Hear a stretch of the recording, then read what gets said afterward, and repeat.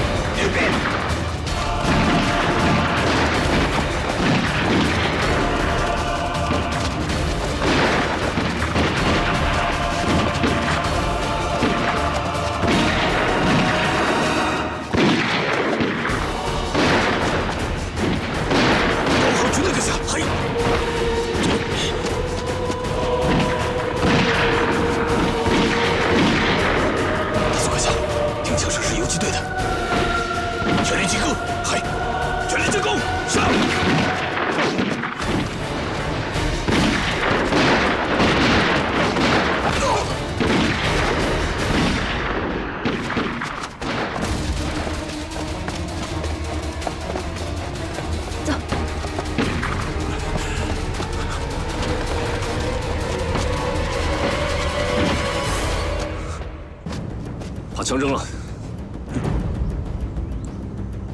你不是来接应我的人，我是来要你命的人。小夏，住手！彩儿，你给我让开！不行，竹内秀夫，竹内先生，他是来帮我们的，他身上有我们重要的情报。你给我让开！要杀，你就先杀了我！闪开！我的任务就是保护竹内先生。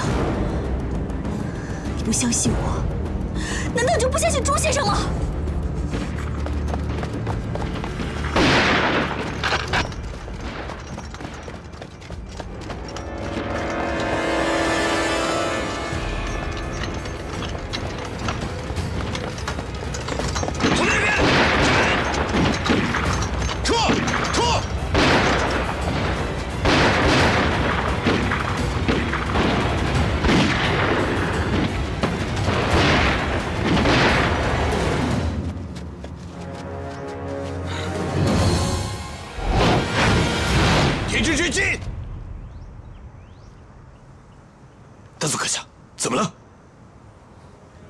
下的，嗨，跟我来！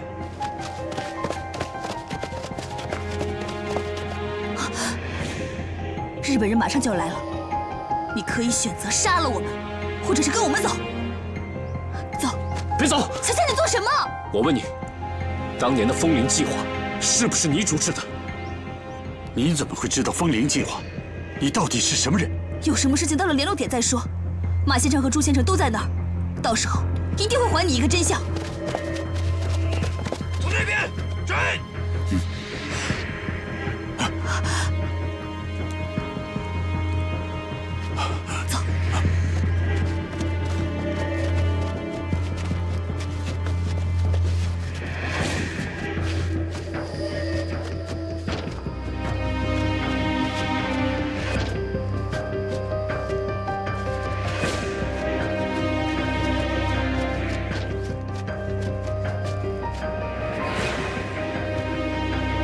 马上进行搜索，马上进行搜索，快！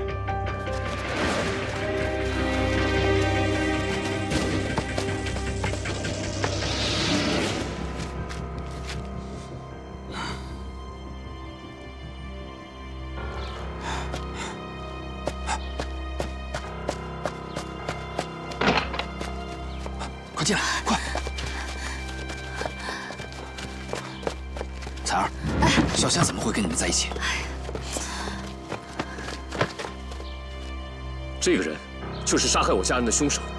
刚才要不是彩儿阻拦，我早就想毙了他。小夏，你可能误会了，竹内先生是你爸爸的好朋友，他也是中国人的好朋友。啊，好朋友。对，小夏，小夏，我来跟你解释这一切。你是谁？小夏，他就是我跟你说过的马先生。时间紧迫，你带竹内先生先到里屋去谈。好，小夏，走。所有的事情，我来向你解释清楚。小夏，请你相信马先生。好，彩儿说你跟家父认识，请你告诉我这一切究竟是怎么回事。竹内先生，请问，屋外那个人，难道就是夏家岩先生的儿子？正是，老马会和他解释这一切。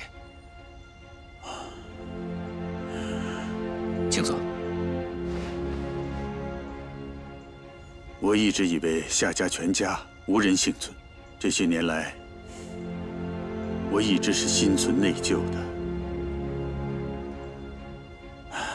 没想到，原来夏先生的儿子还活着。你的身份特殊，这次为什么会冒险亲自前来？我们的联络遭到了破坏，之前和你们联系的密码和人员全部都更换了。想要恢复我们之间的联系，只有我亲自来一趟。这是最新的联系密码。为了确保万无一失，我们只交给对方接收密码，具体情报专人负责传递。好，这样一来，即使敌人抓不到我们其中一方，也不会破坏我们的联络方式。嗯。德国进攻苏联以后，内阁方面一直在为南下进攻美国，还是北上进攻苏联而争论。这个情报对我们对这场战争的结果非常重要。所以说我这次来，要尽快和你们取得联系。快，跟我说说具体的情况。好。我们能够与日本的一些反战人士结识，其实多亏了你的父亲，青木直一和竹内秀夫他们两个，就是通过你父亲和我们取得了联系。夏先生，他为了国家，做出了不少的贡献。呃，如果你说的是真的。为什么我父亲回来之后从来没有向我提起过呢？夏先生，他是一个守诺之人。青木直一和竹内秀夫的身份比较特殊，是我们向他请求不要跟任何人提起。日本人杀我全家都是因为青木之一而起的。淞沪会战结束之后，青木的身份很快就暴露了，土肥原对他下达了追杀令。当时事出紧急，没有办法。青木联系不上中共的组织，他只能去找夏先生寻求帮助。夏先生依然义无反顾地帮助了他，最后成功地摆脱了敌人的追杀。我，青木，你怎么来了？我有急事找你商量。啊，快进来，屋里说。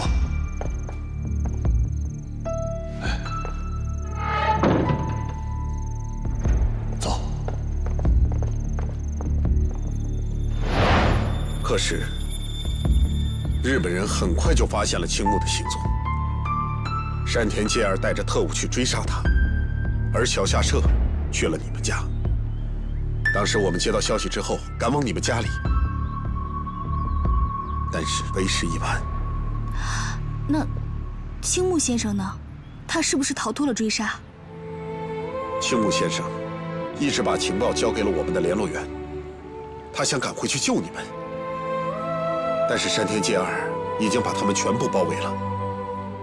后来，他得知了你们全家都被杀了的消息，他奋死反击，但是敌人把他们已经包围了，他宁死不屈，最后自尽身亡。原来是这样。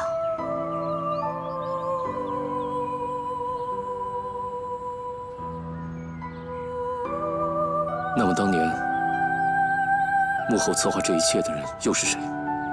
黑龙会会长的女儿，美谷子。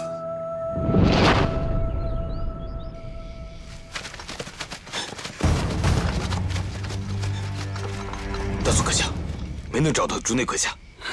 这是虹口公园及周边的地图。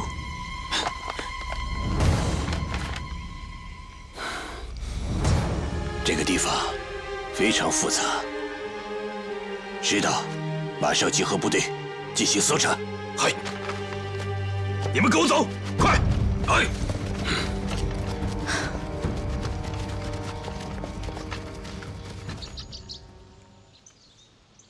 可是马先生，有一件事，我始终不明白。青木直一也好，竹内秀夫也罢，他们都是日本人，他们为什么要帮助你们？这件事还是让竹内先生自己跟你说吧。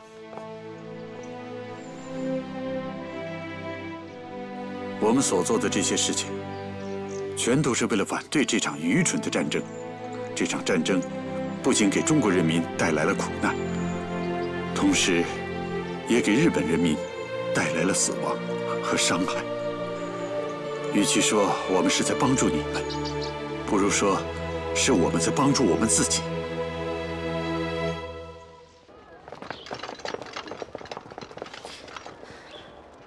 给我兵分两路，分头搜。嗨嗨！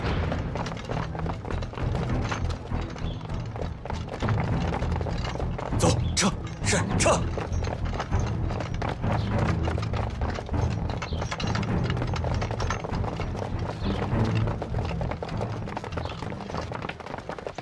正是因为有了你父亲的帮助，青木军所隐藏的这笔存款，才没落到土肥原这帮军国狂热分子的手里。这笔存款根本无法弥补他所带来的伤害，但我想，现在只有你才能决定这笔钱的真正去留。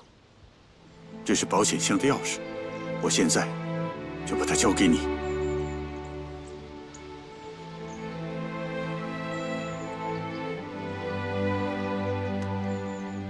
小夏，青木直一拼死把保险箱的密码告知了我们。如果你决定了，我可以把密码告诉你。我父亲为了保护这笔钱，不是为了个人，而是为了我们这个国家。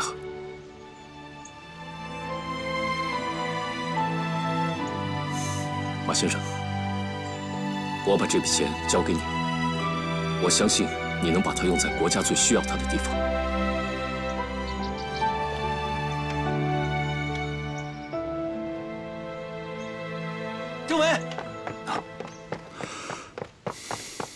人已经向这边搜索过来了。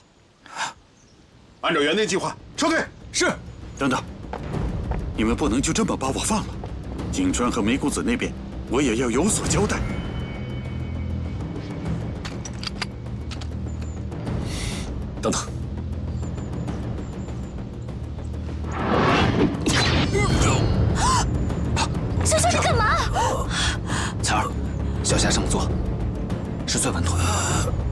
是刮破了喉咙，不足以致命，没事了。走吧。走。在那边，搜。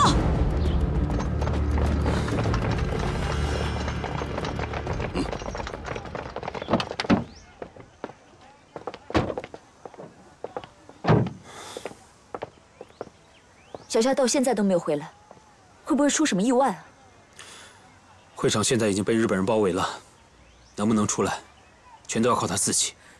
我是怕他为了杀竹内秀夫，不顾一切。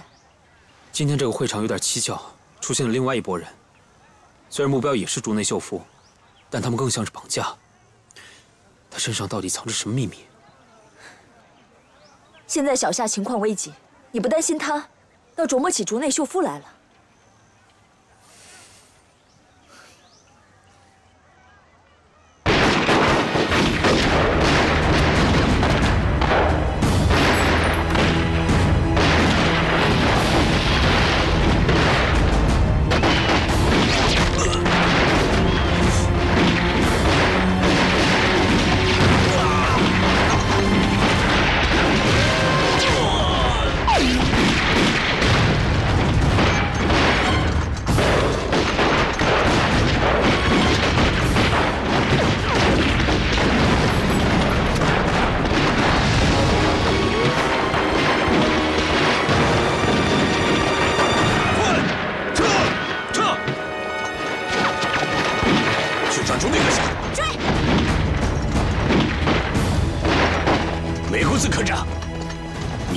置竹内阁下的性命于不顾吧？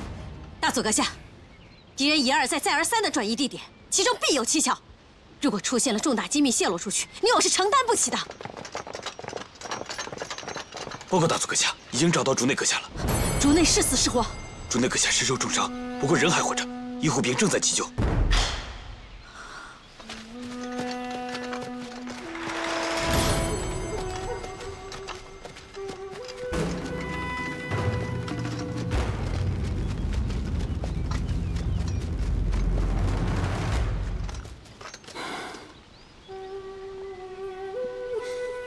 竹内阁下，让您受到如此的伤害，实在是对不起。通知医院没有？已经通知了陆军医院，救护车马上赶到。嗯。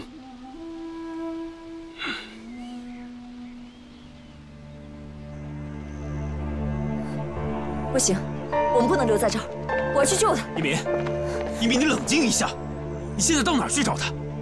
小夏身手你不是不知道，他应该不会有什么意外的。那万一呢？万一他出了意外怎么办？你现在不能去虹口公园，我这是命令。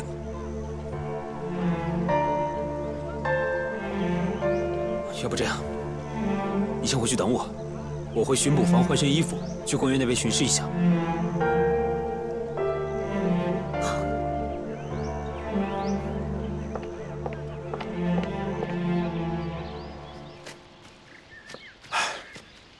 其实，我们一直在寻找你的下落，却始终没有音信。救我的人担心日本人会再来寻找，所以一直把我藏得很隐秘。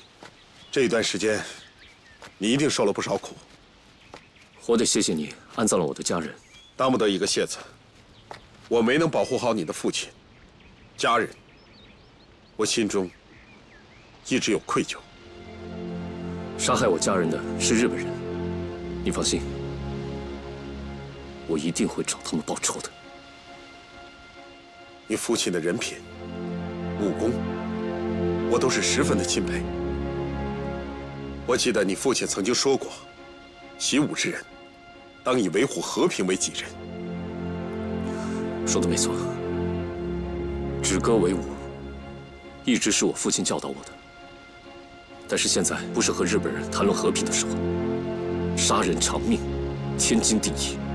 我没有跟日本人讲和平，小夏，我只希望你能跟我们一起，为了制止这场战争而努力，为了争取世界和平而努力。你是想让我加入你们？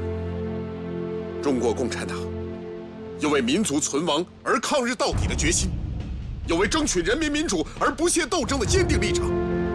也正是基于这个原因，你父亲才会义无反顾地帮助我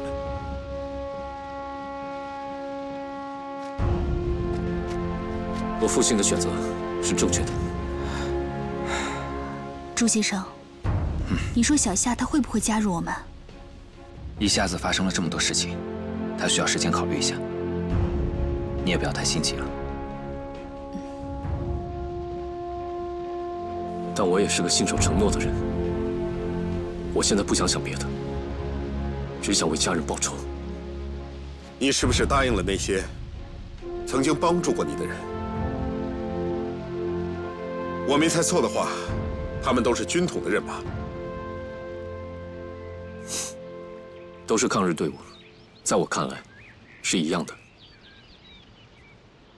你说的也对，我们会尊重你的决定，也不会让你感到为难。谢谢。我今天也要谢谢你肯把这批款项交给我们，我代表组织感谢你。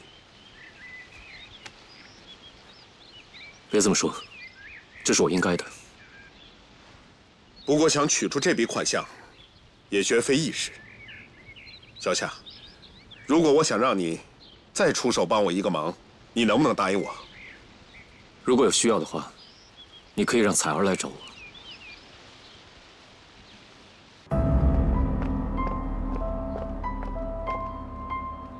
大佐阁下，敌人如此大费周章的绑架竹内阁下，肯定有不可告人的秘密。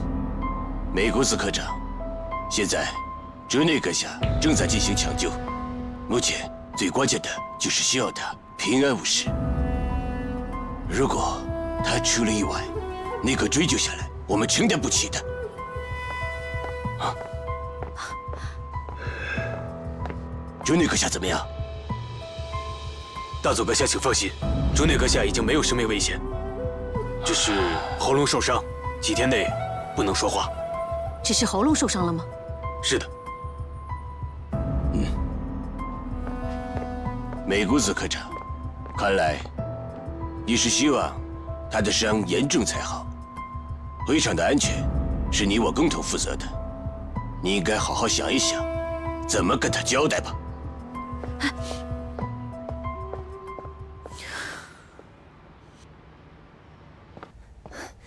怎么样？什么情况？还是没有小夏的消息，但是我打听到竹内秀夫还活着，正在日本陆军医院进行抢救。竹内秀夫还活着？具体情况还不清楚，日本人那边消息封锁的很严密。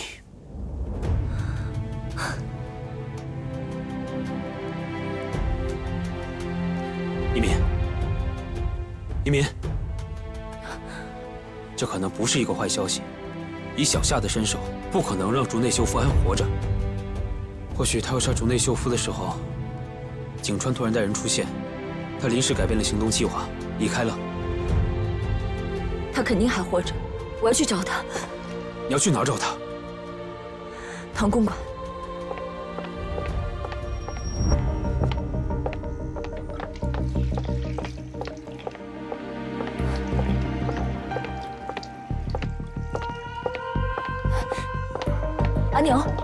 小夏在不在家？哦，她一早就出去了，还没回来呢。那彩儿呢？彩儿在家吗？她也一早就出去了，也还没有回来。一小姐，来了怎么不进屋里头坐坐呀？大嫂，我是来找小夏的。既然她不在，那我就先走了。哎，等会儿再走呗。呃，小夏她出去办事了，过会儿就回来了。你先到客厅坐会儿，等等她吧。啊，不用了。我还有事，不耽误你了。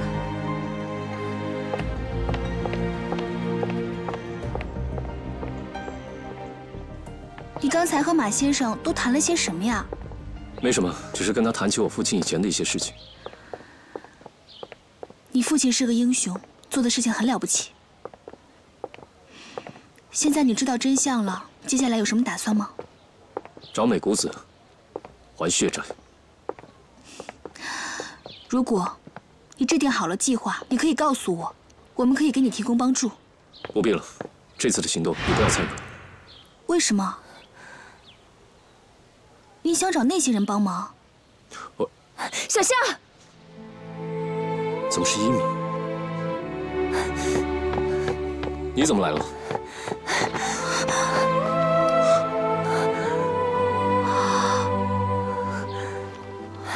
你没事，真是太好了。你知道我有多担心你吗？对不起，我应该跟你说一声。没想到这一次让你这么担心我，对不起。啊，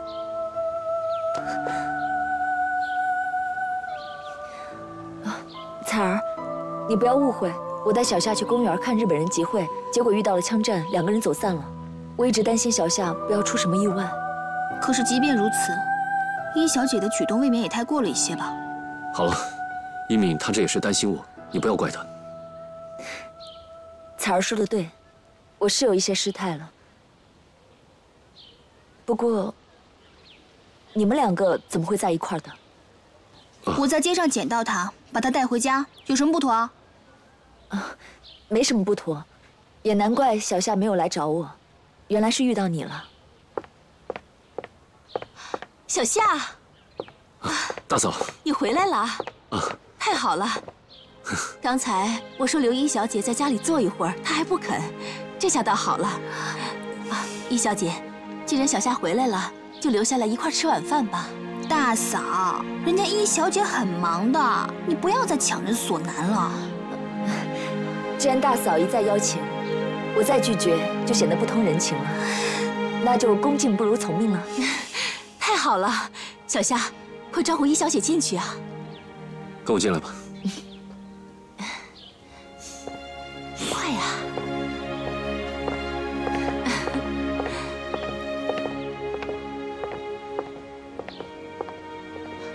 彩儿你说小夏怎么对伊小姐一点都不热情啊？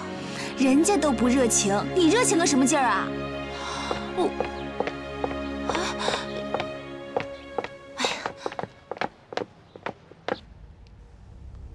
这次本来是我们立功的大好机会，没想到刺杀没有成功。这下敌人肯定加强了防范，再想动手，那就十分困难了。如果上级命令必须除掉竹内秀夫的话，我会重新安排作战计划的。唉，现在动手是为时已晚了。好在戴局长没有追究我们的责任，下一步我们工作的重点就是扎打银行的那笔存款。如果这事儿成功的话，你出国的请求，上峰肯定会批准的。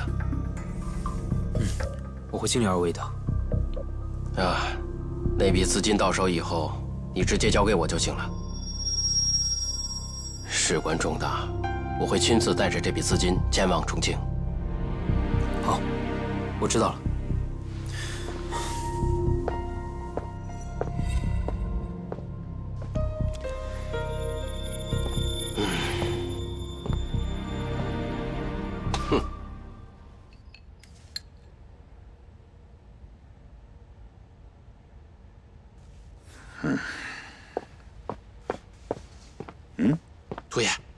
这个叫什么竹内的特使有消息了，被人割了喉，现在在医院呢。怎么着？这么说，这个人还活着？活着？难不成爷希望他死吗？哼，只要不牵扯到我们，他的死活跟我们有什么关系？您说的在理。这事儿啊。说来也奇怪了，你说这唐祖光没到会场，偏发生这么凶险的事情。爷，这么大的事儿，怕是和唐爷扯不上什么关系吧？你懂什么？我总觉得这件事儿啊，跟唐祖光有点关系。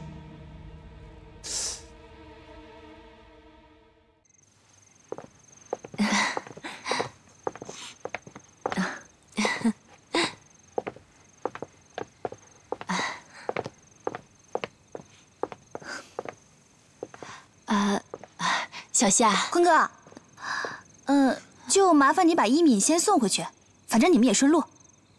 啊，行，我知道了。啊，那一小姐下次再来玩。嗯，那走了，慢走，注意安全啊！再见。彩儿，你这是干嘛呀？我本想让小夏送一小姐的，你看看你，搞得大家都不愉快。或许这样的安排才是最好的。你说什么都是对的。哎，兰儿，兰儿，你说这好端端的事情都被彩儿给搞砸了。你说他怎么就这么不明白我的心思啊？我看是大嫂不明白彩儿的心思吧。啊？这是什么意思啊？大嫂，你也是过来人了。彩儿对小夏的心思就没看出来？哎呀，我一直觉得这彩儿对小夏的关心是有点过头了。可是我没有往这方面想啊。哎呀，如果这是真的，该怎么办？我也不知道怎么办。小夏今天晚上表现的很异常，按理说这么大的事情，她应该着急跟我们会合才对。就在刚才，她还明确的回绝了我的要求。你可能不知道，我看到她是和彩儿一起回来的。怎么？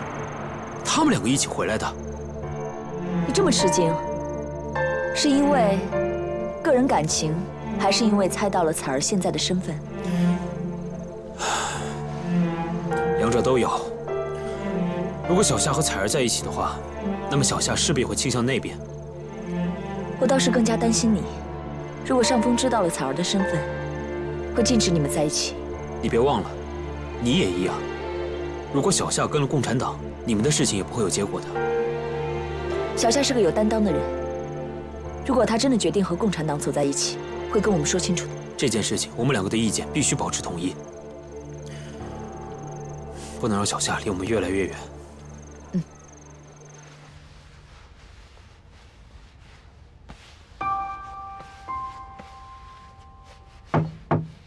请进。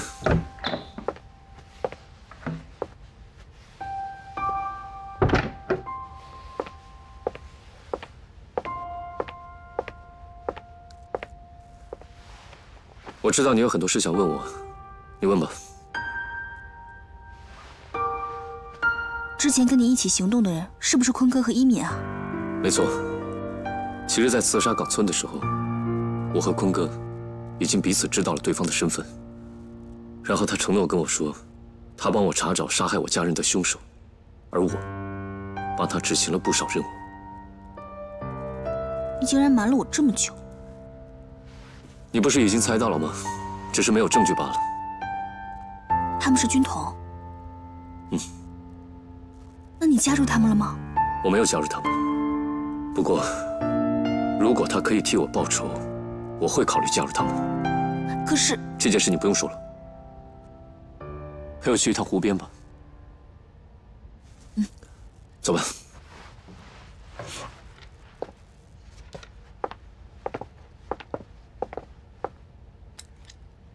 说说吧，小夏的事情你怎么考虑的？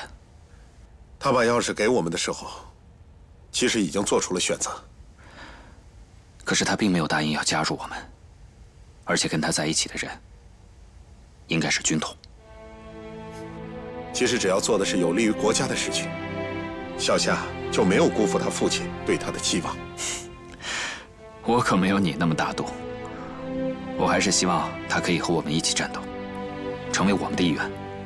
其实啊，小夏是一个聪明人，也是一个是非分明的人。相信我，给他一段时间，他会做出一个正确的选择。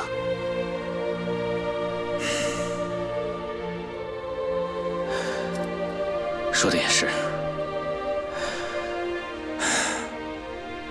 可能是我真的太心急了吧。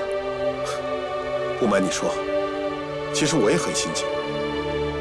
我多么希望小夏能够成长为一名真正的战士，而不仅仅是一个复仇者。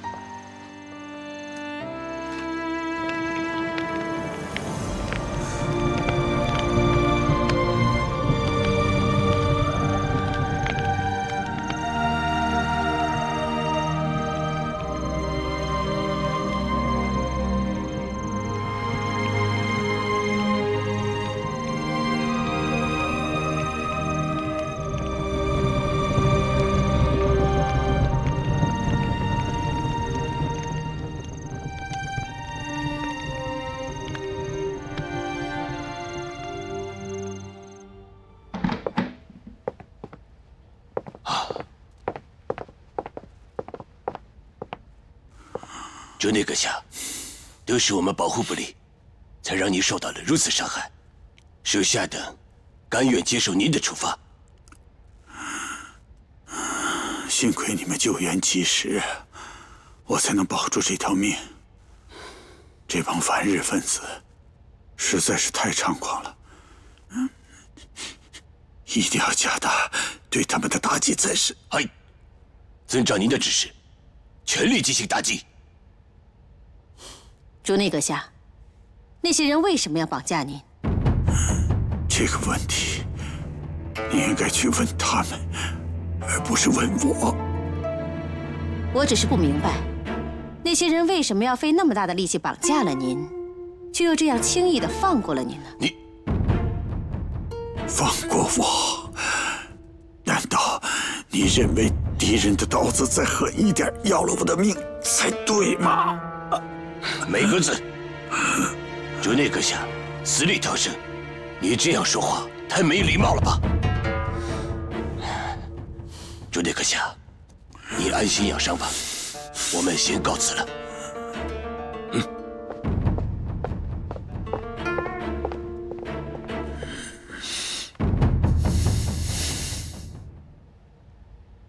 这么说来，你已经知道了事情的真相，也知道美谷子是当年杀害你全家的幕后指使。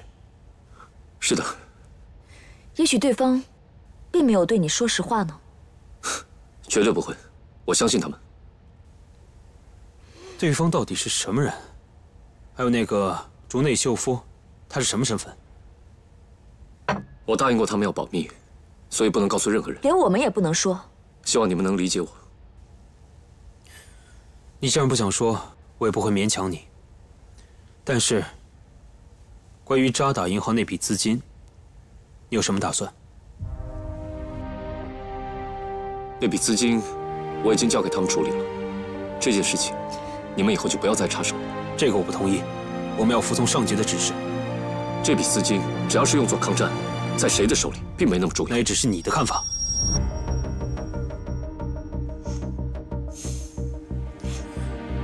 你是不是已经决定加入他们了？这你放心，在家仇没有报之前，我是不可能加入任何组织的。既然这样的话，从今以后，我们的行动你不要参加了。坤哥，小夏这么做有他的权利。我们合作了这么久，你没必要说这样的话吧？我答应帮他找到杀害他家人凶手的资料。他才会答应在必要的时候给我们帮助。现在他已经掌握了全部的线索，我们的合作也可以到此为止了。他不亏欠我们，我对他也没有失信。坤哥的意思我明白了。从今往后，桥归桥，路归路，各走各的。小夏，你怎么可以说这样的话呢？我会替你们保守秘密的，这点请你们放心。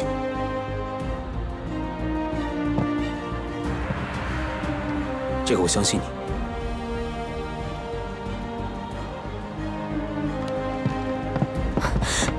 不准追，这是命令。我不明白了，你为什么要这么做？我有我的理由。我倒想听听，你有什么理由？小夏现在跟共产党搅在一起。你我什么身份？你忘了？如果这件事情被上面知道了，不光是我们会被处罚，他也会遇到危险。如果我们不说的话，上面应该不会知道。或许我们还可以把小夏挖到我们军统的队伍中来。他既然已经决定把那笔资金交给共产党处置，说明他的内心已经偏向那边了。况且，还有彩儿在一旁影响他。别忘了，上级同样也要求我们把那笔资金争取过来。这如果不跟他划清界限，将来行动的时候，要如何面对他？从现在开始，我们要对那笔资金进行部署，完成上级的任务。可是密码和钥匙都在共产党的手中，你要如何进行？螳螂捕蝉，黄雀在后。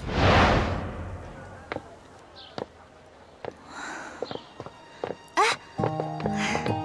我还以为要等很久呢，没想到你这么快。坤哥今天主动和我划清了界限，这点是我没有想到的。这点好啊，那我倒是要感谢感谢他了，再也不用顾忌他们，你可以好好帮我做事了。我可没有说要加入你们。但是你答应过我们要帮我们取出那笔资金呀不能言而无信。这你放心这点我不会反悔。那就行朱先生在等我们赶紧走吧。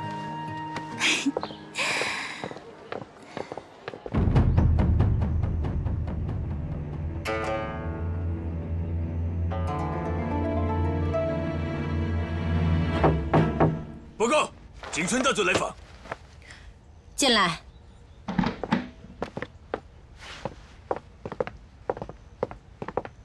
大佐阁下，请坐。美谷子科长，你是不是在执行什么秘密任务？我不知道您什么意思。你在渣打银行安插那么多人手，是准备来做什么？只是例行的侦查行动，没有什么特别的。只是侦查行动这么简单吗？当然。大佐阁下，您不会认为我是在故意向您隐瞒什么吧？美谷子科长，我只是提醒你，让你明白自己在做什么。谢谢大佐阁下的提醒。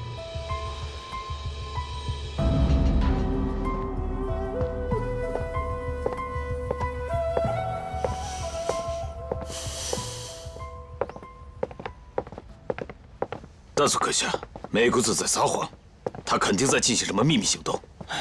有杜飞燕将军在背后给他撑腰，我也是拿他没有办法。只是觉得，自从竹内阁下到来之后，梅谷子的行为变得更加异常。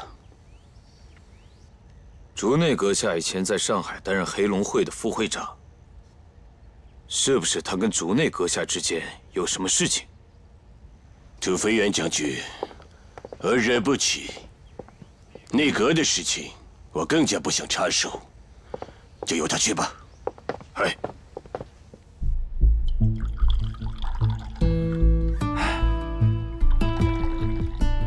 何长，日本人在银行内外安排了很多的特务，要想安全的把资金取出来，不是一件容易的事情。朱队长，我想您肯定制定了周密的计划，只要告诉我，我们遵照执行就可以了。说的好像你很了解朱先生似的。虽然是第一次配合行动，但是你们的计划非常缜密，我还是有所了解的。要想打击敌人，必须先要学会保护自己，这些都是必须要做的。朱先生，您就直说吧。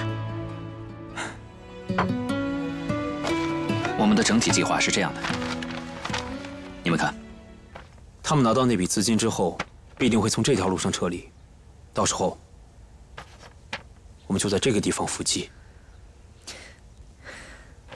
共产党虽然与我们的阵营不同，但是他们抗日救国是世人皆知的事情，而且他们动用这笔资金，肯定会用在抗日上。我们这么做，恐怕不合适吧？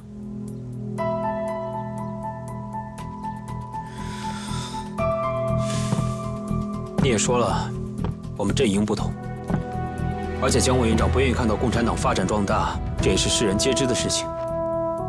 况且我们是奉命行事，至于合适不合适，用不着我们考虑。你以前做什么事情，处处都是以国家利益为重，这不是你的风格。你现在这么做，是不是因为小夏？我在执行上级的命令，你怎么扯他身上去了？坤哥，我只是想提醒你。不管怎么样，你不要忘了，我们共同的敌人是日本人。这个不用你提醒，我心里比你清楚。而你现在要做的就是执行命令。还有，我们的计划不准透露给小夏，否则我会向上级汇报，说你泄露军事机密，军法处置。这点你放心，我是一名军人，遵守纪律是军人最基本的素质。伏击的过程当中，如果遇到抵抗，下手不必留情。那如果对方是彩儿呢？行动的步骤你们都清楚了。嗯，明天的行动中，应当尽量避免与敌人发生冲突，免得伤及无辜。明白。小夏，你对朱先生的计划有什么意见吗？如果有什么想法，尽可能提出来。我倒也没什么意见。我只是在想，除了日本人之外，一定还会有其他人打这笔资金的主意。你是说军统？虽然我还不敢确认，但是我们不得不防。小夏说的对，张坤也知道渣打银行资金的事情，他们的上级必然会命令他们采取行动。我倒是觉得坤哥不会做这种亲者痛、仇者快的事情。不是坤哥，我说的是军统。小夏说的对，我们重新调整一下作战计划。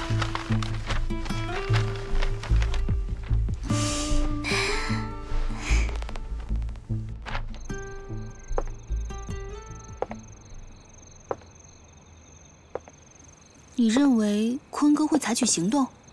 今天我跟他谈话时，觉得他是在刻意跟我拉开距离。以我对他的了解，他之所以这么做，是为了避免束手束脚。你对我怎么没有这么了解呢？我怎么感觉你好像是在说伊敏呢？伊敏，小夏，说曹操，曹操就到。彩儿也在啊。呃，你们要是觉得我在说话不方便的话，我先回避。哎，不用了，我这次来是找你们两个人，你们正好都在，我就一并说了，省得麻烦。找我们两个啊？嗯。这里说话不方便，我们找个安静的地方再说吧。跟我来。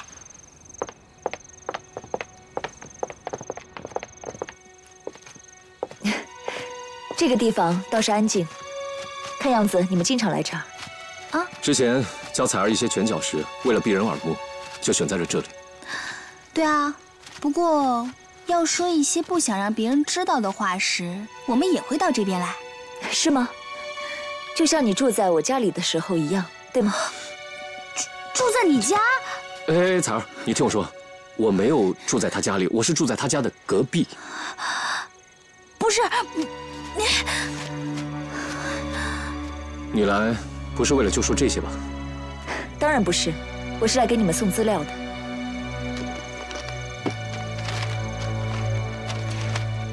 这个王美兰是日本人安插在银行的眼线，她现在负责的，就是保险箱业务。你为什么要帮我们？因为我喜欢小夏，我不希望她有危险啊。你，你怎么喜欢一个人就要说出来啊？这有错吗？你明天的行动注意安全，我还有事，先走了。再见。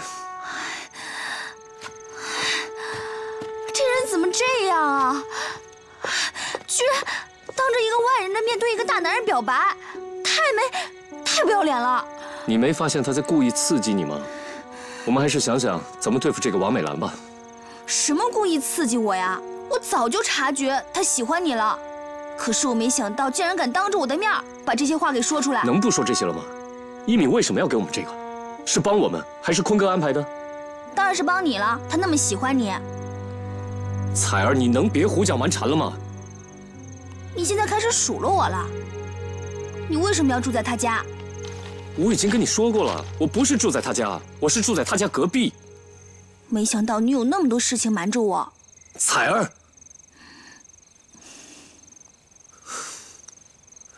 这个王美兰真的很重要，关系到我们明天行动的成败，我们必须要想个对策才行。这有什么难的？明天我本来就是机动接应，他的事情就交给我吧。好了，那你明天注意安全。不用你担心。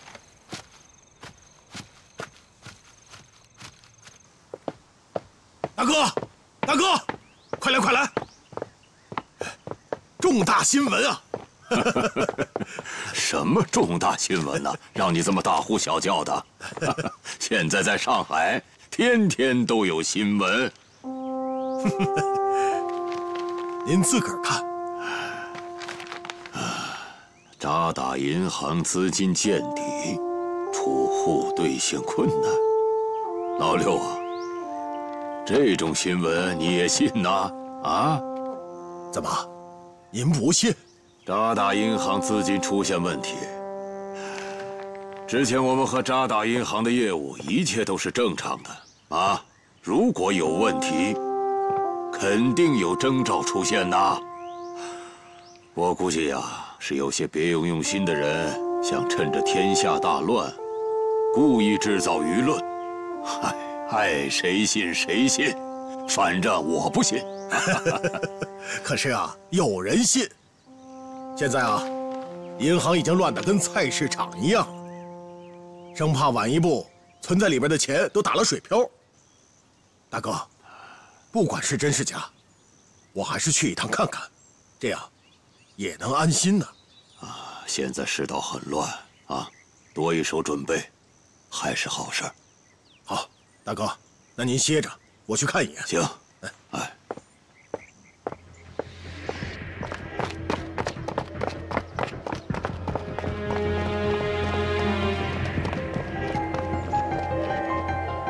没想到他竟然能想出这样的办法。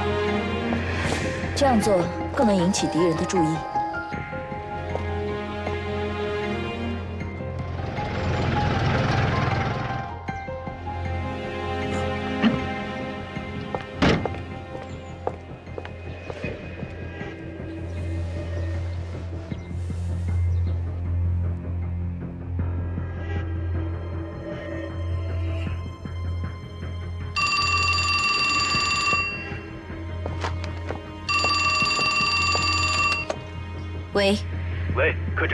现在渣打银行那边人满为患，你看怎么处置？王美兰呢？让她盯紧保险箱那边的情况。我今天一直没见到她。马上去找经理，告诉他有人要对渣打银行实施抢劫，马上封锁银行。嗨。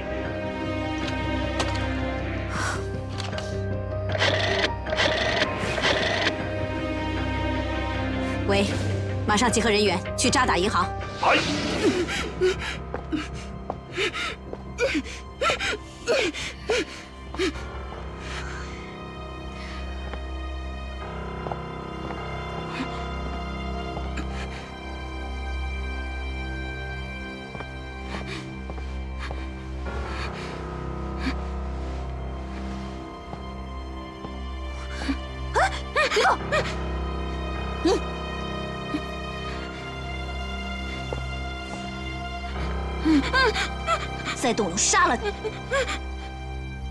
各位，各位，大家冷静一下！各位，大家听我说啊！大家一定要听我说！请大家先不要着急，我们一定会想办法解决的。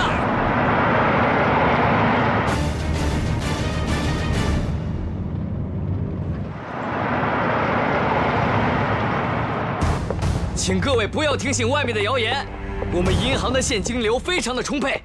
所以说，请大家不要着急兑付。两位要办理什么业务？负责到底。安先生要取走保险箱里的物品。一定要相信我。请您说一下保险箱号是多少？七六九八幺三。哦，两位请跟我进来吧。手续。大家不要着急啊！大家千万不要着急。我们是侦缉处的。啊。刚接到最新消息，有人要打劫这家银行。啊！现在停止办理一切业务。喂啊！大家冷静一下啊！拜托了，拜托了，拜托了！我先来问一下，你们有没有证据？你看，土户们现在都非常的恐慌，贸然关闭业务的话，会引起大家的误会停办！别动！老实点，不然我杀了你！哎呀怎么还不回来？都几点了？别动！大家冷静一下，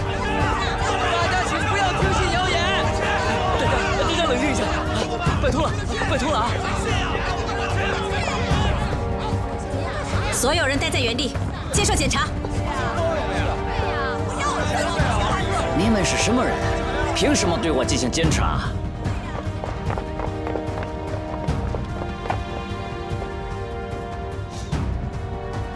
马上告诉我，有没有人打开过七六九八幺三的保险箱？我没有权利告诉你，这是我们银行的规定啊！啊！我不想再问你第二遍。嗯，没有。放他们走吧。所有人员，立刻赶往王美兰家。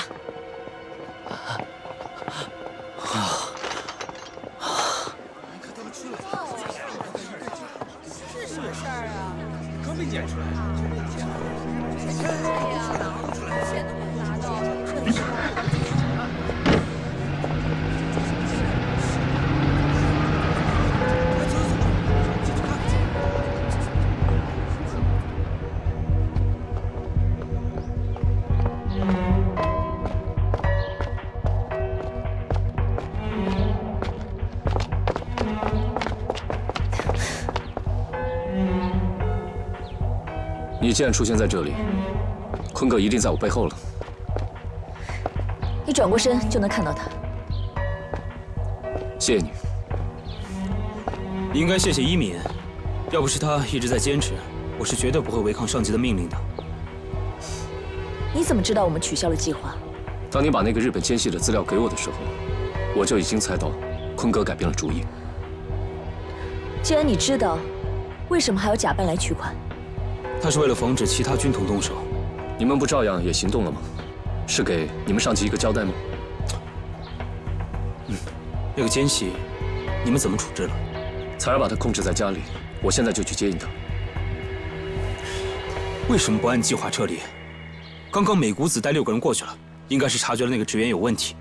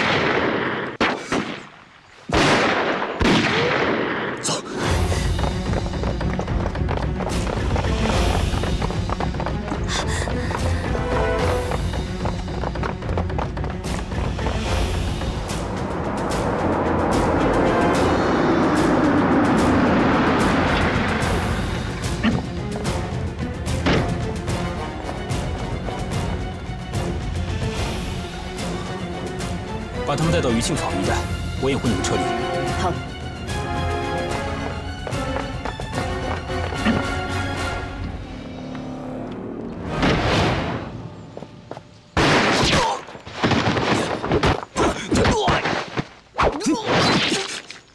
走。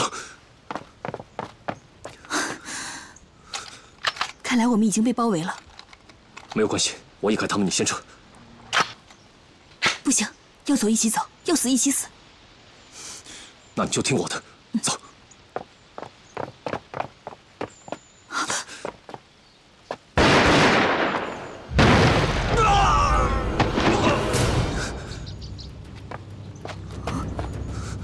走。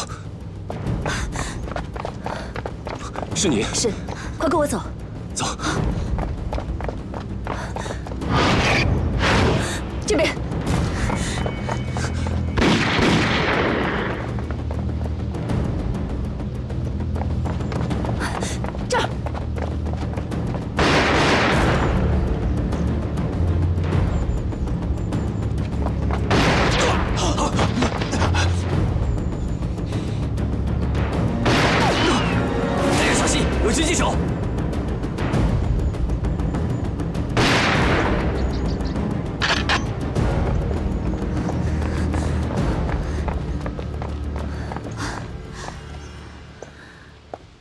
谢谢你救了我们。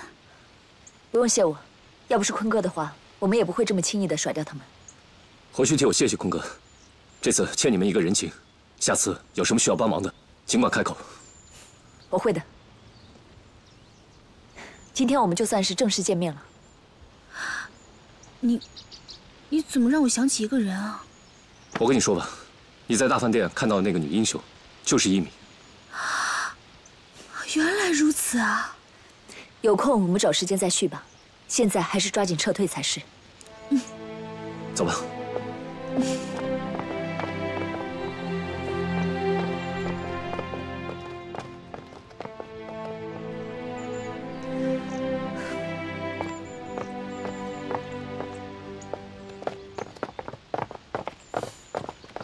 怎么回事？为什么停止追击？我们遭遇了狙击手，没有办法追击。狙击手，这些混蛋！科长，这是今天渣打银行办理保险箱业务人员的名单。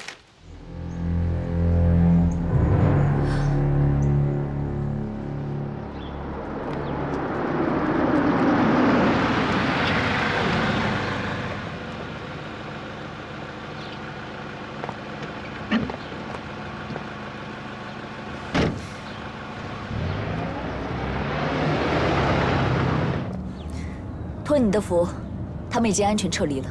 这个小夏做事情太欠考虑了，如果不是我们赶到，就会酿成大错。你怎么不说是彩儿经验太少？如果她足够随机应变的话，也不会出这样的危险。你看看你，都这个时候了，少说两句行不行？这次的事情，千万不能让梅站长或者其他军统知道。要是被安上通共的罪名，你我就要上清除名单了。这我知道，你我是生死搭档，又是一起做这件事情，我怎么会向外透露呢？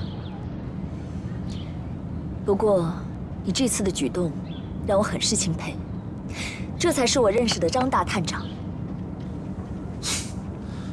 得你一句夸奖，真是太荣幸了。那你准备怎么样跟梅站长汇报？有的时候呢，我们也应该装装糊涂。那倒是。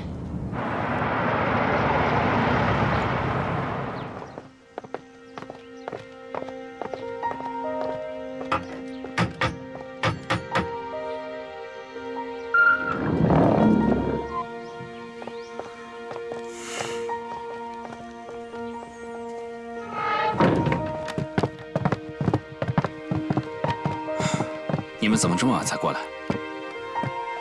我们之前接到情报，找到了特高课隐藏在银行里的内线，我就把他控制在家里，但是美姑子发现了，要不是小夏及时赶到，恐怕我就有危险了。难怪在银行附近没有再看到你。你们得到情报，为什么不向我汇报，而是采取私自行动？朱先生，彩儿这么做，也是为了保护您的安全。您不应该责怪她。出发点再好，也要服从组织的安排和纪律。你们有没有想过，如果你们的身份暴露，或者遭遇不测，会造成多么大的损失？对不起啊，我知道错了。我们做情报工作的，一定要时刻铭记，我们的举动不仅关系到自己的安危，而且还会关系到组织和国家的安危。所以做任何事情，都不能按照一己之见采取行动。楚先生说的对，这次是我错了，是我擅自做的决定。我知道你们刚才也经历了一番凶险，但是要记住，以后做什么事情，都要先谋定而后动，不是胆小怕事，而是为了更好的打击敌人。我明白了。好了，告诉你们个好消息，那些资金已经安全的转移，马向东同志护送那笔资金前往根据地。太好了，太好了！你们也累了一天了，先回去休息吧，我还有事要出去一趟。舒先生，您是要去见卡恩先生吗？这个外国人靠不靠谱啊？这个可以放心，申报就是因为有卡恩先生在后面帮忙，日本人才对我们容忍至今。卡恩先生是一个非常有正义感的德国人。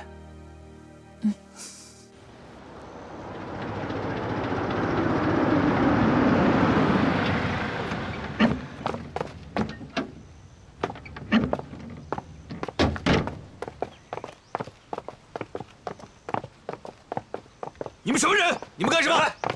听见没有？你们干什么？干干什么？你们？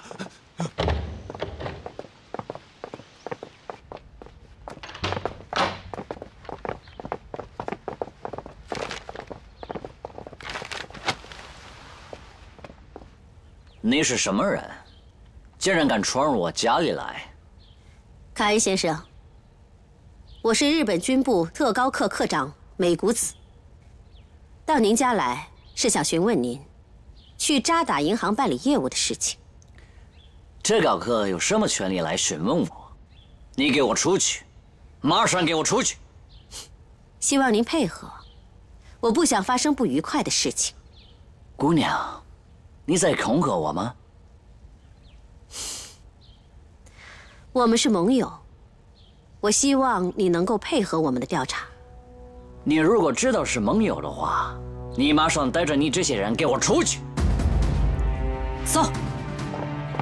我要向日本大使馆提出抗议，让你受到严厉的惩罚。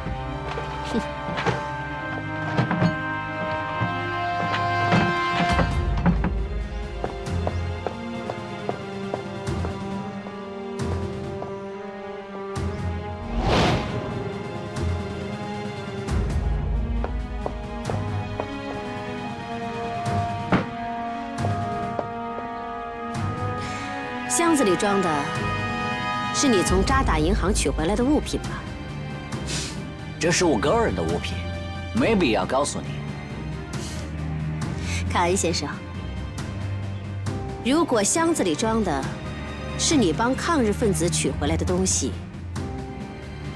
我敢保证，你们大使馆一定会追究你的责任。收吧。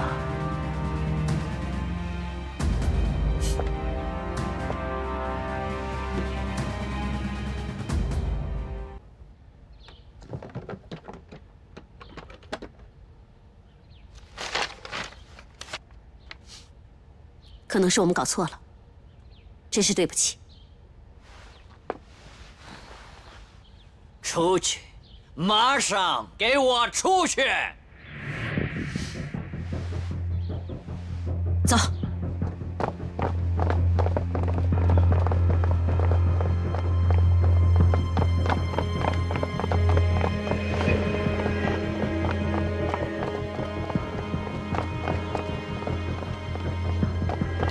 到领事馆提出抗议，我不会饶恕你无理的行为。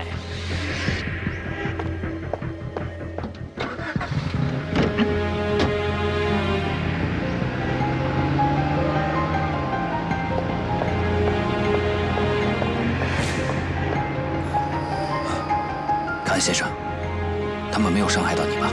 怎么会？你忘了我是德国人，我跟林氏是很好的朋友。这次真的是太感谢您了。没事，用你们的话来说，我们是一伙的，互相帮助是应该的。我要向领事馆打个电话，要对特高克无理的行为提出严重的抗议。德国人的严谨是出了名的，相信日本领事馆会给您一个满意的答复。今天的行动确实是我想的不周，幸好你平安无事，不然的话后果真是不堪设想。干嘛把责任揽到自己身上？都是怪我经验不够。我要是把那个王美兰打晕，然后提前撤离就好了。哎，你刚才对朱先生的提议有什么看法？他说的对，以后如果有这样的情况，应该提前和上级汇报一下。那，你今后能不能不要再自己行动了？请接受朱先生的提议，加入我们好不好？这样我们就可以并肩作战了。刚才他说的很明白了，如果要想加入你们的行动，就必须受你们组织的约束。但我报仇的时候，不想束手束脚。你为什么总是想着报私仇呢？你不是说了，要完成夏先生的遗志吗？做一个像他一样的人，心中有大志，有国家，为抗日斗争做出贡献。我认为，杀掉美谷子对我来说，同样是抗日，只是选择的方式。跟你们不同，唉，我怎么就跟你说不通呢？这些话我跟朱先生和马先生都已经说过了。我非常钦佩他们的为人，我也能理解我父亲的做法，但是我目前不想想这些。那如果你把美谷子杀了，会考虑加入我们吗？如果到那个时候我还活着的话，我会考虑的。你胡说什么呀？你肯定活着，还要跟我一起并肩作战呢。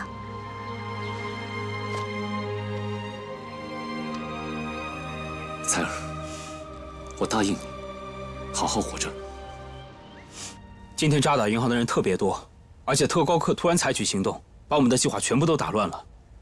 之前找到的线索，现在全部丢掉了。丢掉了。张坤，上峰对这件事很重视，你一句丢掉了，这怎么向上面交代？我正在想办法弥补，希望能够重新找到线索。最近交给你的任务接二连三的失败，你和一敏到底在干什么？站长，现在日本人在租界的势力范围越来越大，我们的行动处处受到限制。还有那个刚上任的美谷子科长，他的行事非常缜密，我们很难找到破绽。形势我很明白，可是上峰和我对你寄予很高的期望，希望你能够全心全意的为党国尽忠。我对党国的忠心是绝对不会变的。这点，请你放心。好，你先回去吧。上面有什么指示，我会再通知你的。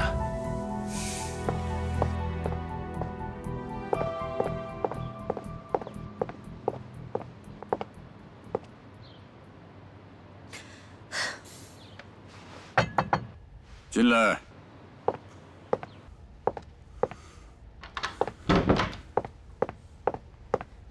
司令官阁下。美国领事馆和德国领事馆向我们提出了严正的抗议，要我们做出解释。美谷子，你现在都做了些什么？报告司令官阁下，我们查到了抗日分子的线索，追踪他们到了渣打银行，所以所以你在渣打银行随意开枪，威胁银行经理和职员，你擅自闯到卡恩的家中进行搜查。完全不顾及外交的影响，是属下失职，请司令官阁下责罚。渣打银行到底有什么事情，让你失去了理智，做出这些愚蠢的举动？是我立功心切，做事乱了方寸。我跟渣打银行的负责人详谈了一下，早前黑龙会在渣打银行里租用的保险箱，今天居然被人打开了。取走了里面的物品。对不起，这件事情我并不知情。嗯，好吧，你先退下吧，回去要好好反省。嗨。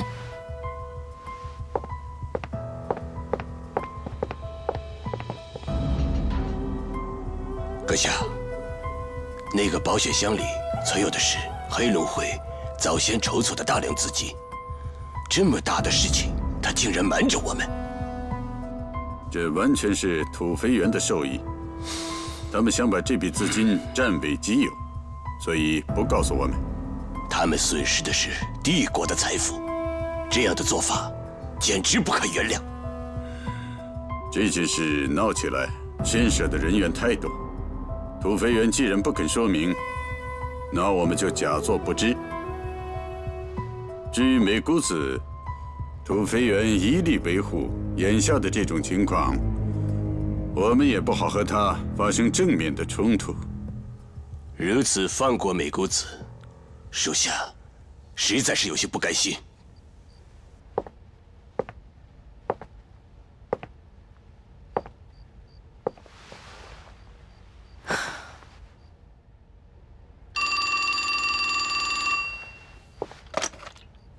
喂，是，请机关长指示。属下办事不力，愿意接受责罚。是，多谢机关长给我机会，我一定会戴罪立功，不会辜负您的期望。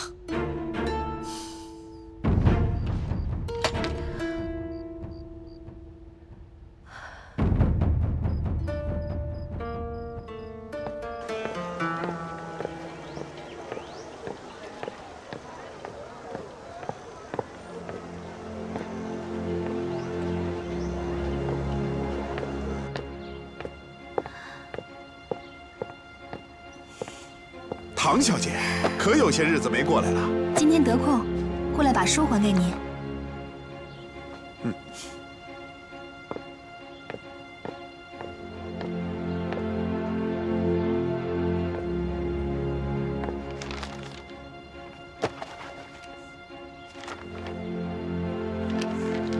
告诉你一个好消息，资金已经安全送到根据地，这批资金将会为前方战士提供必要的武器和弹药补给。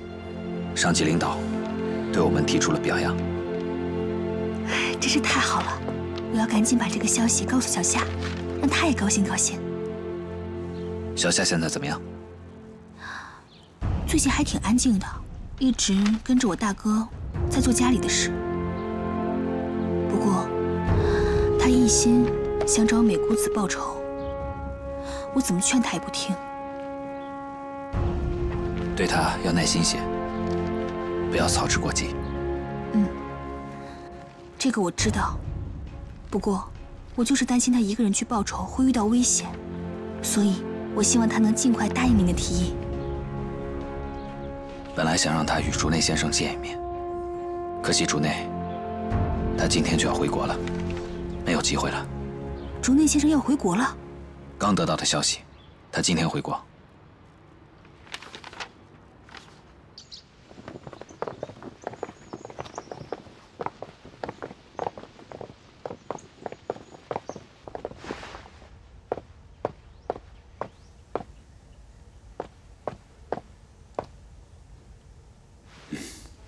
竹内阁下，您的伤势还没有完全康复，应该再多休养几天再走啊。内阁那边已经来电催促，让我尽快回国。都是我们保护不力，才让您这次上海之行遇到了危险，实在是对不起。啊，这件事情也不能全怪你们。这次我能够死里逃生，全是大佐您的功劳。啊。这一点，我回去以后会向内阁说清楚的。太谢谢您了。听说竹内阁下要离开，我特来送行。那我到楼下等您。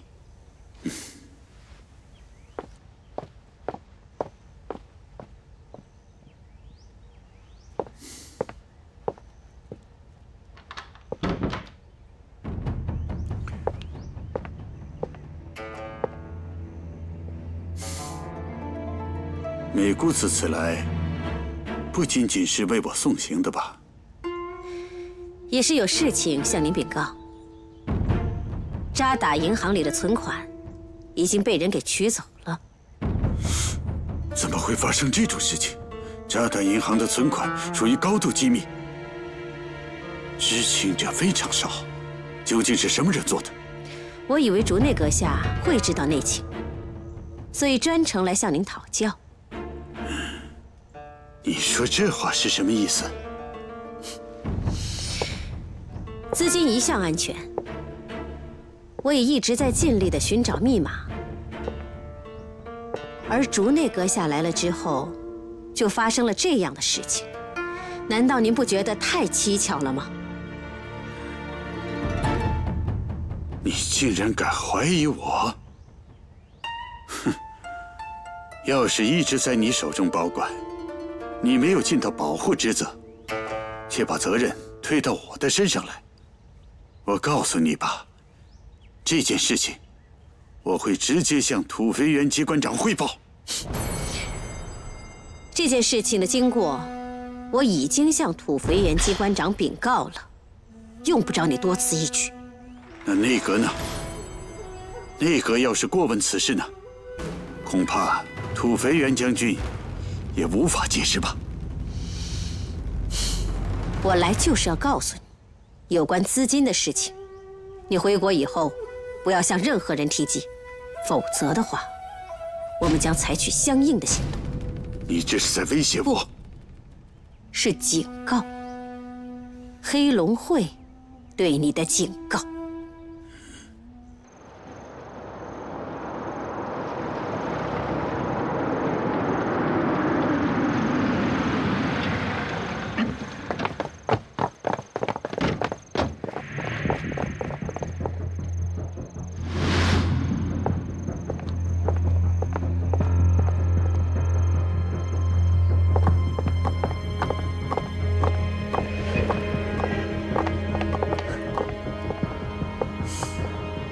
你先下去吧，坐。梅子，你来找我，是不是有什么新的线索发现？是的，科长。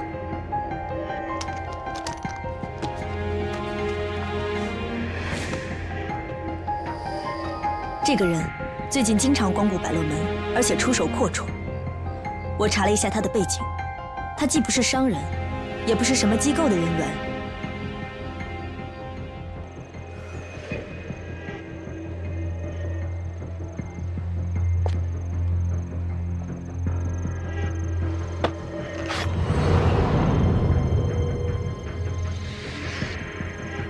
这么说，这个人一定是搞情报工作的。看他的言行举止，并不像是搞情报的。他每次来只是纵情享乐。曾经还想用重金把我带走，那你怎么认为他有嫌疑呢？这几天他都没有露面，而且这个时间正好跟渣打银行出事的时间是吻合的。之前他也无意中透露过，他很快会有一大笔钱要进账。我怀疑这件事情跟他有关。渣打银行的资金是共产党取走的，这可不像共产党的作风。科长，那会不会是军统的人？这倒有可能。你密切注意观察，一旦他再露面，立刻通知我。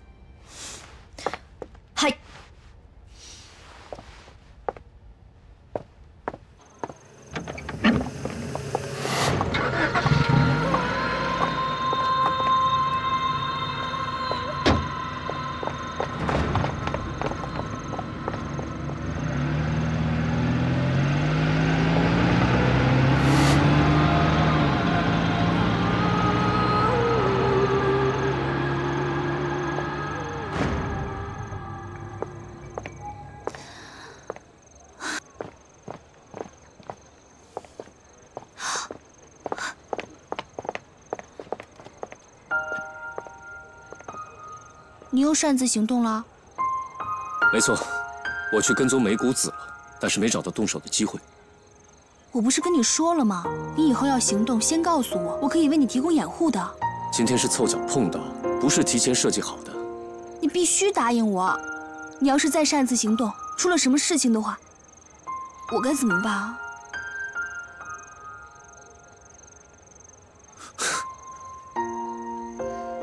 进去吧。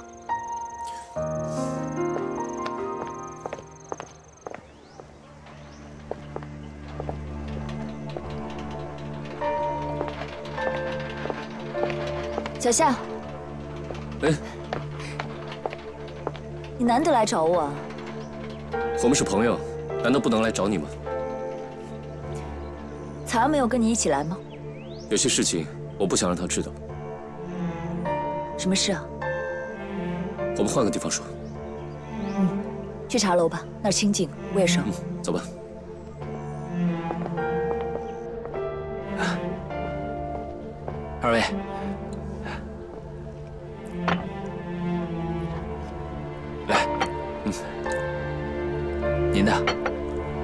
请慢用。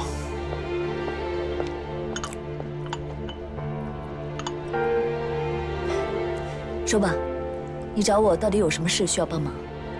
我暗中跟踪了美谷子很多次，发现他出行都是有人跟随，而且晚上就在特高科休息，根本没有下手的机会。要除掉美谷子，光靠你一个人恐怕是办不到的。所以我想请你帮忙，帮我提供他的情报。军统到现在还没有针对美谷子的计划。我也没有什么情报可以给你的。原来是这样。不过我可以竭尽全力的帮你，早日除掉美谷子，你才能计划未来，不是吗？谢谢。这件事情你为什么不直接找坤哥帮忙呢？如果我找他的话，他肯定会力劝我加入你们。我不希望再跟军统扯上任何关系。那你为什么来找我？我们是好朋友，不是吗？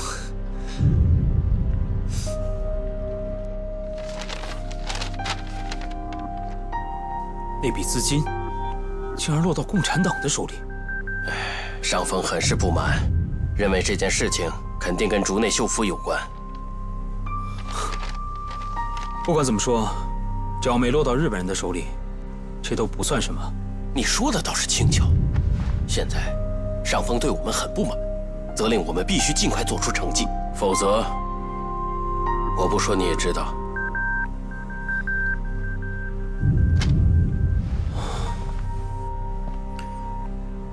上峰什么指示？破坏敌人闸北区的军火库。站长，这以我们的力量，要进行大规模的破坏行动，恐怕很难完成。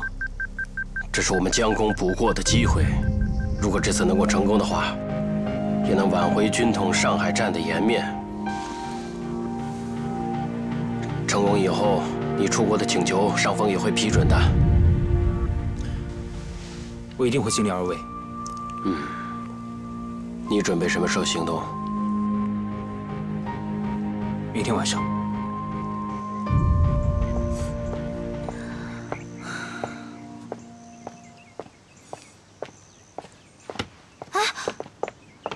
哪儿去了半天才回来？今天工坊没事儿，我出去转了转。到你房间去，我有话跟你说。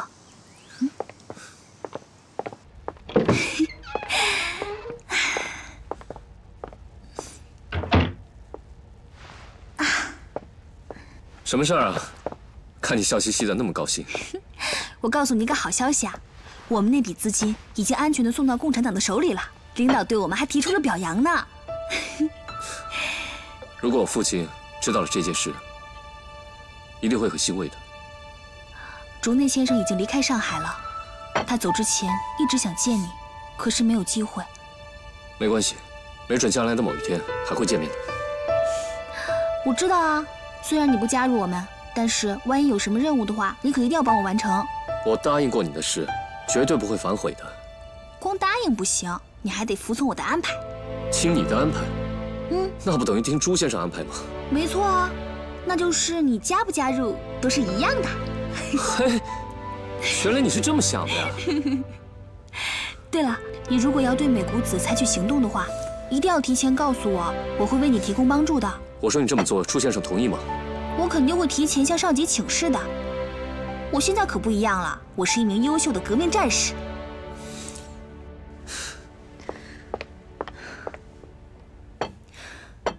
这么晚了找我，什么事啊？有新任务。什么任务？破坏日军军火库。你马上通知行动组的兄弟，明天晚上行动。坤哥，日军军火库戒备森严，我们没有把握，应该向上级汇报，取消这次行动。这件事情我仔细想过了，如果我们的计划足够周密的话，还是有机会可以成功的。这么说，是不是还有其他理由？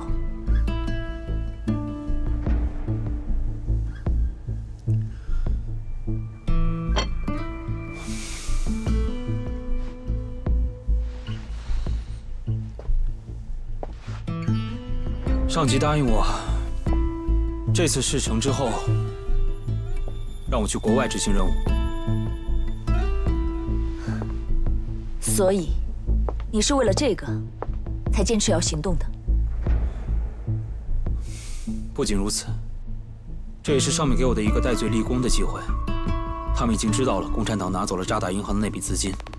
如果我再不执行命令的话，我很可能会被重庆召回问责。那样的话，岂不是更麻烦？那梅站长也会放你走吗？换到以前，他可能会不同意。现在我的存在对他来说已经构成了威胁，他巴不得我马上离开或阵亡。说的也是，你有你的想法，我尊重你的选择。但是你有没有想过，如果彩儿不想跟你一起走呢？那我只能选择留下。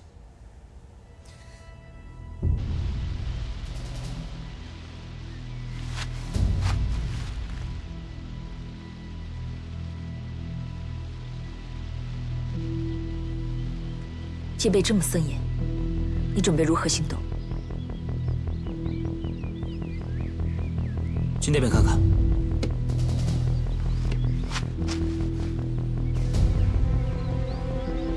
那儿，那是我们唯一的机会。晚上在那边发动突袭，得手之后立即撤退。如果被敌人发现，撤离是一件很困难的事情。跟兄弟们说，晚上多带点手雷跟炸药。是。走吧。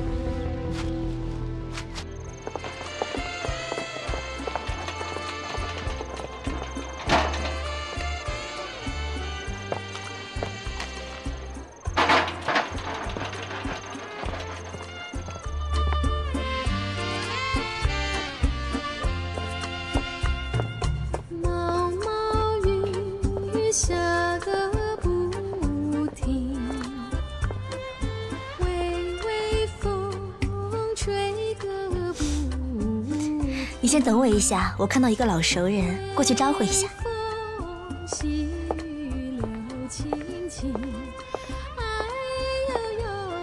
王老板，你可有日子没来了。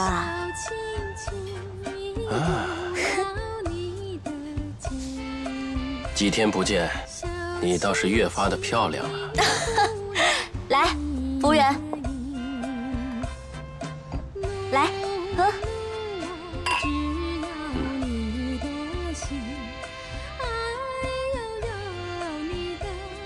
王老板，怎么看你一副心事重重的样子啊？是不是有什么心事啊？哼，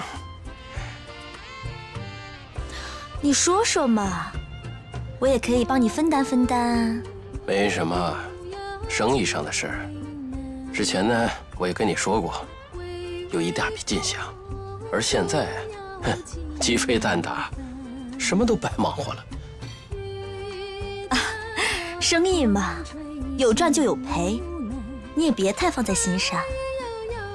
话虽如此，可是还是难以释怀啊。看你这么苦恼，要不我陪你开心开心去？嗯，你愿意陪我出去？怎么，不愿意啊？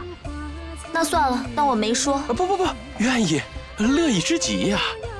哎呀，之前你拒绝了我那么多次，没想到你今天这么痛快。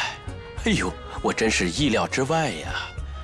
今天这不是看你心情差吗？所以才决定陪陪你的。那好，咱们去国际饭店。哎呀，我们一起度过一个美丽的夜晚。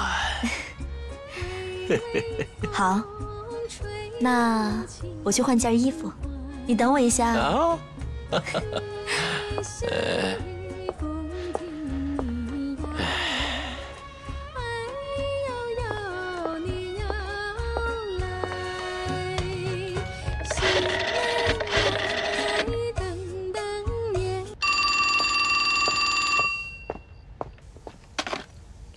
喂，梅城先出现在国际饭店。好，我知道了。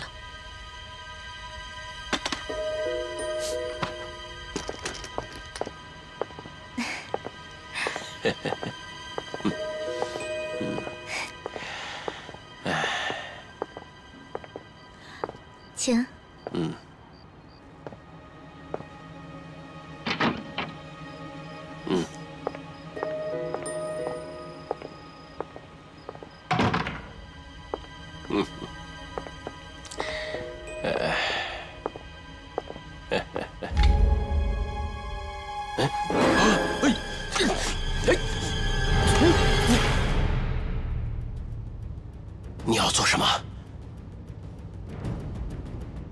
老板，现在可以告诉我你真实身份了吧？什么真实身份？我，我就是一个做生意的而已啊！哼，生意人，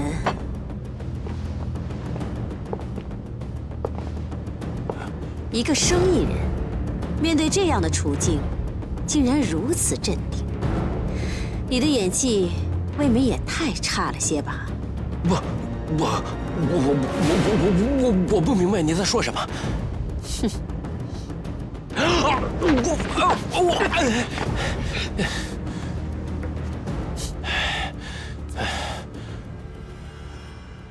带下去。走。看来这是个大人物。严加审讯，一定要敲开他的嘴。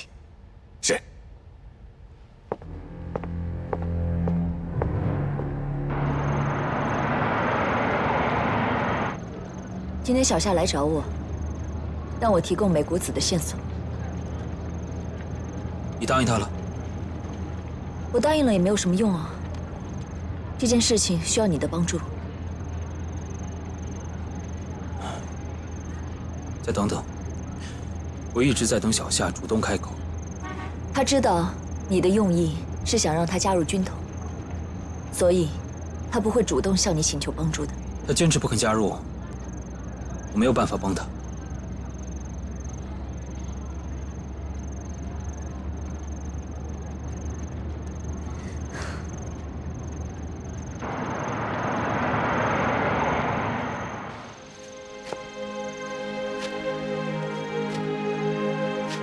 你父亲的人品、武功，我都是十分的钦佩。我记得你父亲曾经说过：“习武之人，当以维护和平为己任。”没错，止戈为武，一直是我父亲教导我的。但是现在还不是和日本人谈论和平的时候。杀人偿命，天经地义。我没有跟日本人讲和平，小夏。我是希望你能跟我们一起，为了制止这场战争而努力，为了争取世界和平而努力。小夏，你真的在这儿啊？害得我四处找了好久。找我有事儿？没什么事儿，我去你房间看见你不在，我担心。担心我又去复仇？嗯，你也说了嘛，美谷子不好对付。我担心你嘛。你放心，我不会像之前那样盲目行动的。对付美谷子，不是一件容易的事情。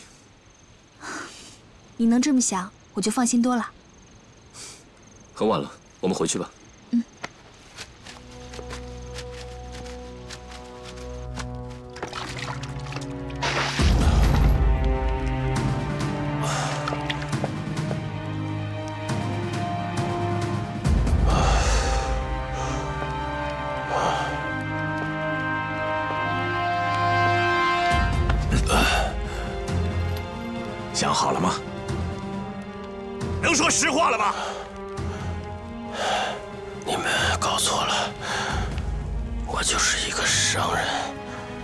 说什么实话？看来骨头还没吃够。继续。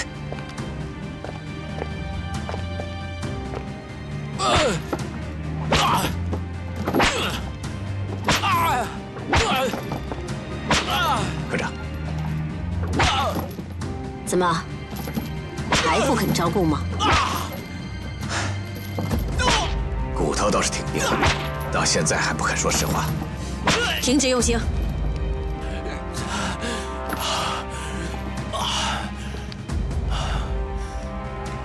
人的身上一共有二百零六块骨骼，其中颅骨二十九块，躯干骨五十一块，四股骨一百二十六块。听说你的骨头很硬啊，我很想见识一下。从哪儿下手呢？不如我们从脚趾骨开始吧。嗯。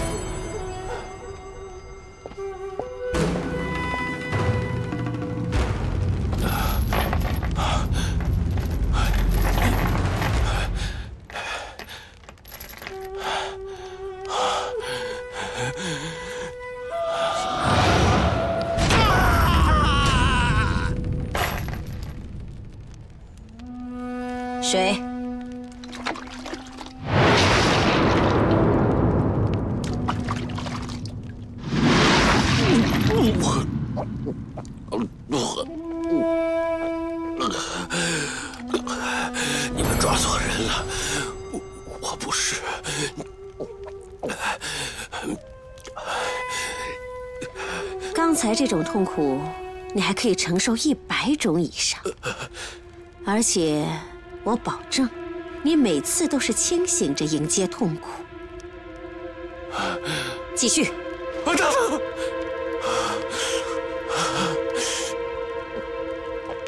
我叫魏成贤，军统上海租界区区长。原来是一个军统的区长啊！我既然告诉你们我的身份了，给我个痛快，杀了我吧！杀了你？你是一个贵客，我怎么可能这样对待你呢？你们要干什么？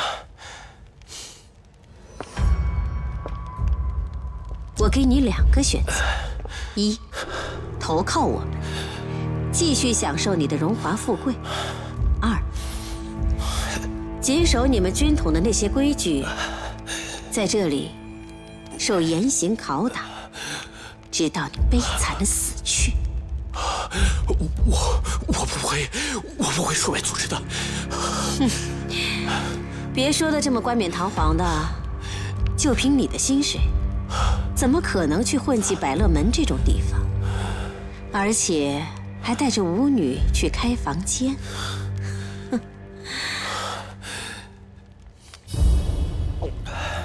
我会给你时间考虑的，想好了再说。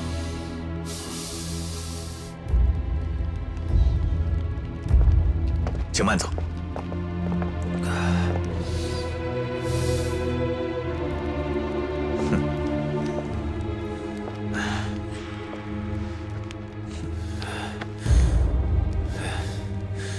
既然你是军统的人，这时候至少有三种以上的自杀方法。看在都是中国人的份上，我不拦着你，好好想想。嗯。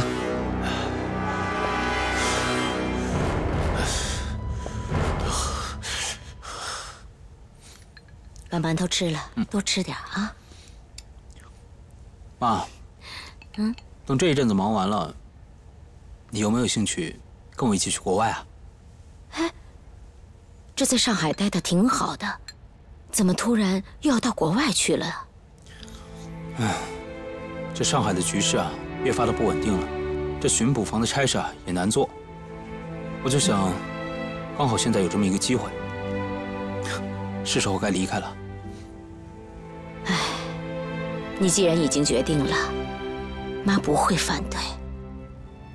可是，你跟彩儿的事怎么办啊？我打算带她一起去，哎彩儿同意了。还是等事情确定下来以后，我再跟她说吧。大成，到时候妈也跟唐老爷说说。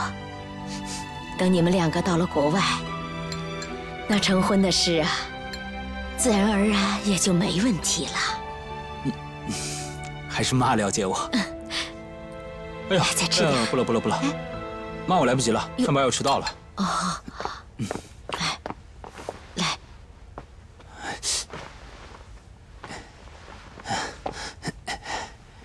做事情啊，当心些。妈等你回来。哎呀，知道了，赶紧吃早饭吧。走好。小夏，啊小夏你别坐了怎么了？啊！殷小姐来了，她在哪儿？她在客厅聊天呢。啊，那我过去看一下，回来再弄。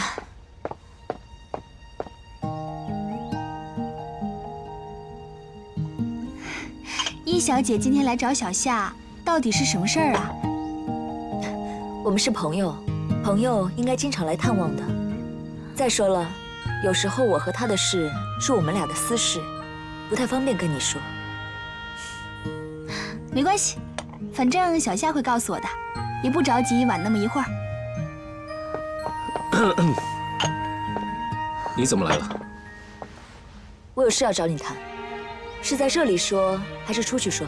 当然是在这儿说了，你来是客人，出去聊岂不是显得我们怠慢了？你们慢慢聊啊。彩儿真的比以前成熟多了，不像以前动不动就发大小姐脾气。本以为你们会大吵一架，她今天的表现确实令我刮目相看。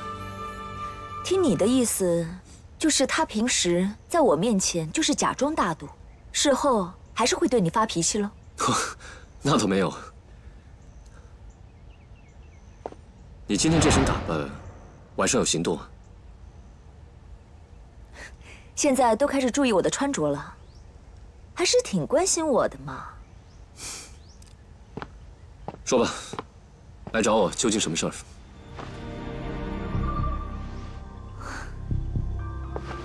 其实，我是为坤哥的事来找你的。今晚我们会对日军军火库进行袭击，如果事情成功，上面会同意坤哥去国外。坤哥要出国，不仅他要去，他还想带着彩儿一起出国。是吗？那你们要我做什么？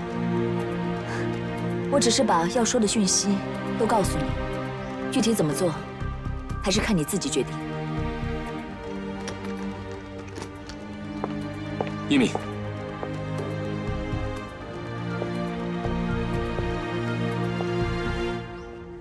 务必小心。嗯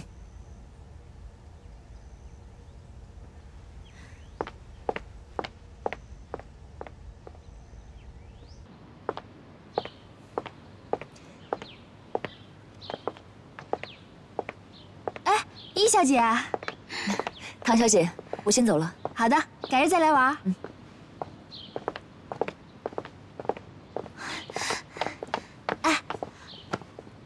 来找你干嘛？没什么，你骗人！没什么，他专门跑一趟呀。真的没什么。大哥还在工坊等我呢。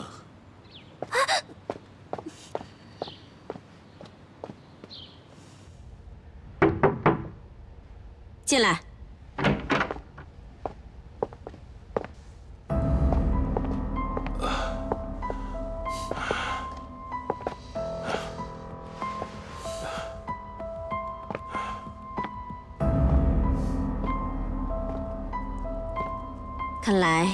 你做出了一个明智的选择。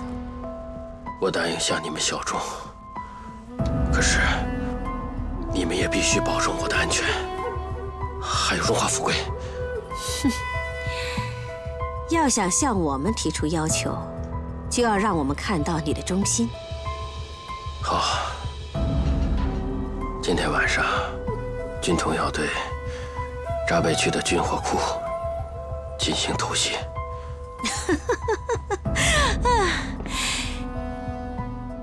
袭击军火库，就凭你们军统的力量，无异于是以卵击石，根本不可能成功。